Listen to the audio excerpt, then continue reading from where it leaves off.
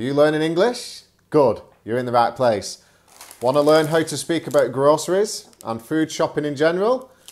Then join me in this week's video and I'll take you through some of my grocery shopping for this week. Let's go. Hello people, it's Gino here again from Real Everyday English and I'm back with another weekly English learning video to help you people improve your vocabulary and take another little step towards complete fluency, which of course is all of our goals. So I've just got back from doing my food shopping, as we would say in the UK. We don't tend to use the phrase grocery shopping, that is more of an American phrase, but still nonetheless you might hear some people say it here as well. But in general, we say food shopping or just shopping. Um, so the first thing I've bought, oh, before I start, I'm currently in the process of changing my diet. So I genuinely eat a lot of fruit and vegetables, but I also eat a lot of meat. I'm trying to change that. So I'm I'm starting to eat more plant-based foods and try and eat less and less meat. I'm not sure if I'm going to go vegan. I'm not saying that, but what I am saying is that I think I eat too much meat and I think I could benefit from reducing the amount of meat that I am eating. So, having said that, the first thing I've picked up today was some peanut butter. So this is peanut butter. It's basically just mashed up peanuts with a little bit of oil. And um, that's really good. I'm going to be throwing that into my smoothies. And the container which this is in, this is called a jar. So this is a jar of peanut butter.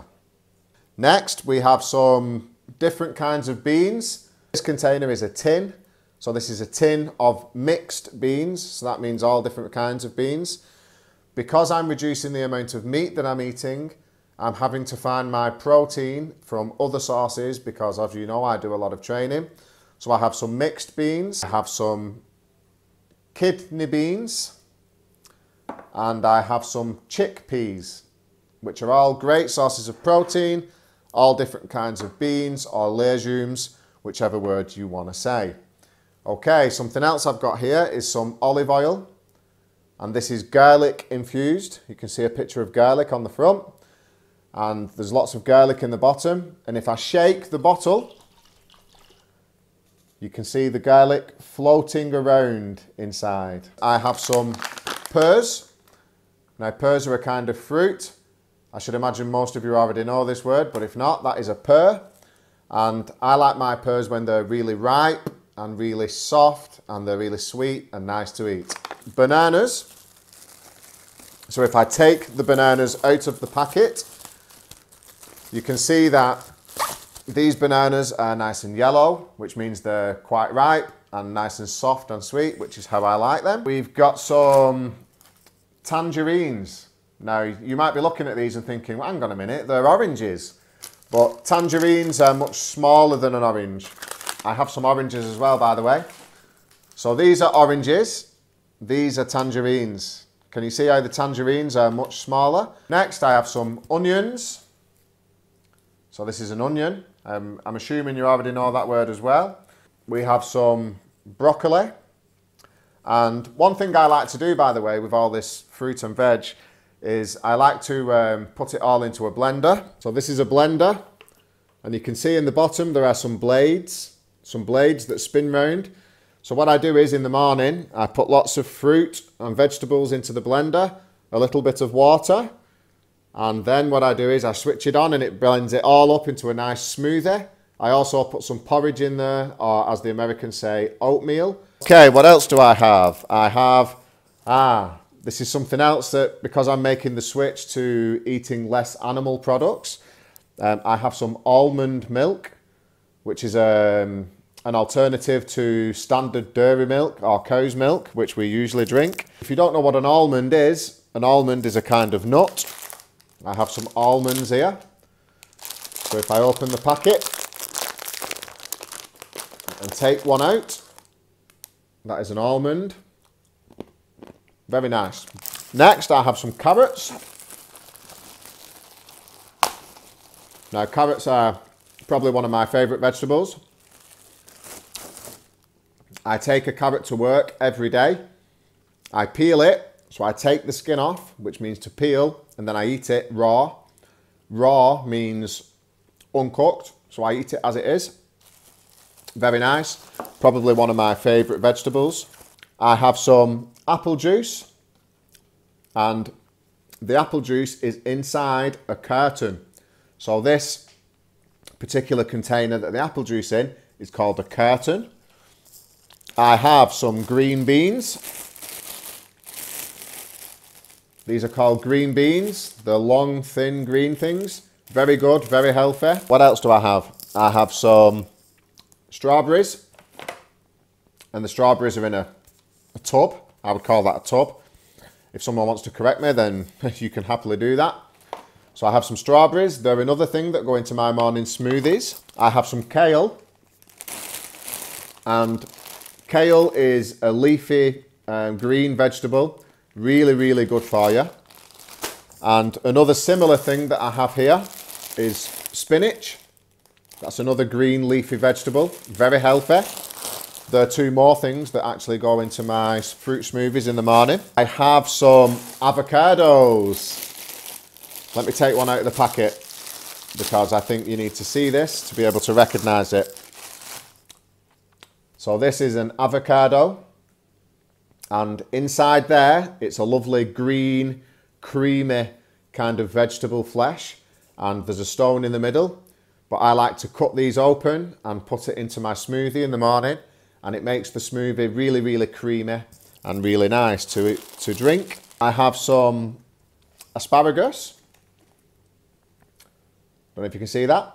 So this is asparagus. Again, very nice vegetable. But I must admit, um, and I want to ask you a question. Asparagus, whenever I eat asparagus, um, it makes my urine smell when I go to the toilet. And this is um, quite a common thing. I think it affects a lot of people. Does asparagus do this to you? Let me know in the comments below and I'll be happy to uh, discuss that topic with you. Blueberries. So they're blueberries. Again, very nice, very nice um, fruit. Um, really high in antioxidants and they are another thing that I throw into my morning smoothies. I have some pasta. And this particular shape of pasta is called fusilli. Fusilli. So that is fusilli pasta. And also this is whole wheat pasta. So you can see how it's brown, whereas normally pasta looks more white. This is brown pasta, as some people call it, or the technical term is whole wheat pasta. Okay, next on the list, I have some peppers. These are peppers and we identify peppers by the colour. So this one is a red pepper, that one is a yellow pepper. You can get green peppers, orange peppers, lots of different colours. Next up we have some tomatoes. But these particular tomatoes are cherry tomatoes, which means they're quite small in comparison to normal tomatoes, which are very big. Lemons. I have some lemons. now, lemons are very um, tangy. We would describe it as tangy. So when you bite into it, very tangy.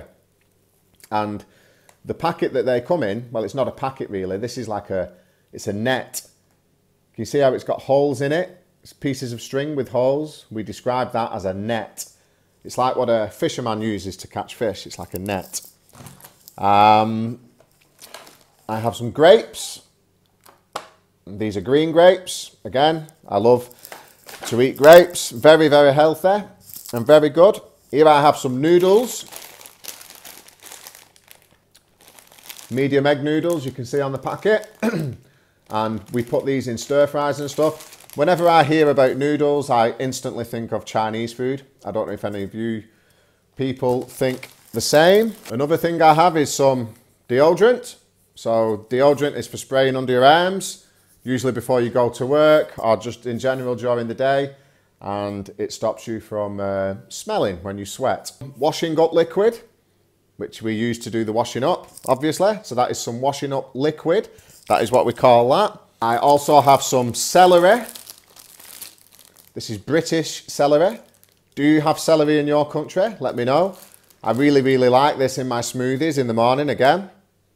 Although I have to admit that if you eat this on its own, the flavour is quite um, it's quite bitter. It's not it's not a sweet vegetable at all. So I prefer to mix it with other things in order to eat it. And last but not least, I have some squash. We call this squash or dilute pop or cordial. This is British English, I think. So we can either call this cordial, dilute pop, or squash. And this is apple and blackcurrant. And the word dilute means to add water to something to make it less strong or less potent. So for example, so if I unscrew the top, pour the cordial or the dilute pop into the bottom of the jug. I then need to run the tap. So the tap is now running. I'm now going to dilute the juice with water. The juice is now diluted and it's okay to drink. Okay people, thank you very much for joining me in this video when I describe some of my grocery shopping to you. Um, I hope you learned some new vocabulary. If you find the video useful, then please feel free to share this with your English learning friends and share it far and wide because the more people I help, the happier I am. I'll see you people in the next video. Tomorrow, I'm actually running a 10k race and I'm hoping to get a really good time. So I'll, I'll update you in the next video as to how I get on tomorrow. Um, thank you for watching. If you're not subscribed to the channel and you don't want to miss a future lesson, then please subscribe and I'll see you beautiful people in the next video. Bye bye. Have a great weekend.